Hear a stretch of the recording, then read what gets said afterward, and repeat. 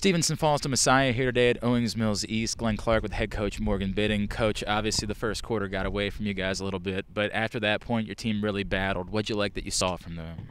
Yeah, after the first quarter, we talked about making some adjustments, and the team went out there and did that and was really proud of the rest of our play the other three quarters. I know today was an important day for the program. It was Breast Cancer Awareness Day. Can you tell me about how all this came together and what it means to your program?